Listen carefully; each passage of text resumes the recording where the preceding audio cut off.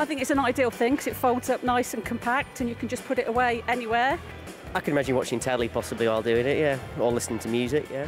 Because I just need the exercise for my legs anyway to strengthen them, so this is good for me at home. I would buy one, definitely. Oh, I'd go for it. Yeah, definitely go for it.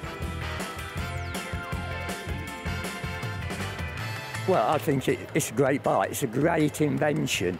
Feeling a bit tired now, but yeah, I'm sure it's doing me some good. It's an easy way to have a simple workout without going out in the cold or the rain.